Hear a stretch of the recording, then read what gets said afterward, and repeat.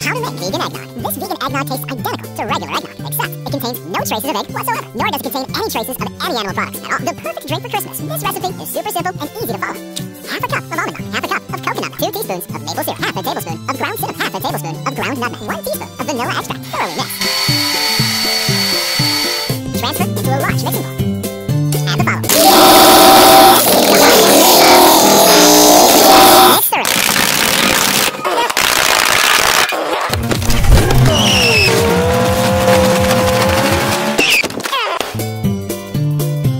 in a glass. Garnish with a vegan chicken breast. Serve and enjoy.